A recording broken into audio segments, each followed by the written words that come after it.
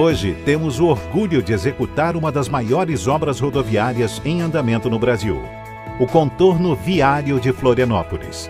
Uma rodovia com 50 quilômetros de extensão em pista dupla, com traçado moderno e características de corredor expresso, possibilitando a travessia da Grande Florianópolis em apenas 38 minutos.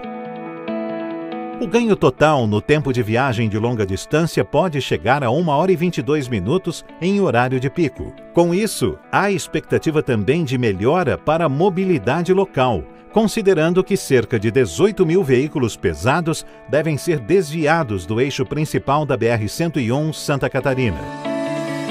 E um projeto tão grandioso como o do contorno exigiu grande esforço de engenharia para garantir as características de pista expressa, sem subidas e descidas acentuadas, sendo mais plana e tendo curvas suaves, evitando a necessidade de redução da velocidade.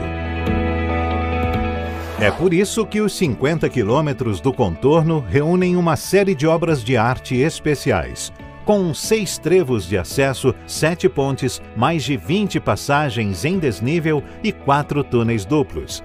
Grande parte desse empreendimento já está em execução. O canteiro de obras tem, no momento, 34,5 km de extensão, com mais de um bilhão de reais já investidos e com aproximadamente mil trabalhadores em atividade.